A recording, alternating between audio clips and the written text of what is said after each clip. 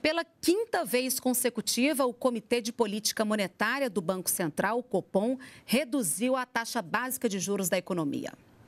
Vamos conversar com a repórter Selma Dias, que tem mais detalhes para gente. Selma, 4,25%.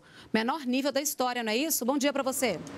Oi, Renata, bom dia a você, bom dia a todos. Isso mesmo, a decisão ela foi por unanimidade, tivemos um corte de 0,25 ponto percentual e a taxa foi mesmo fixada em 4,25% ao ano.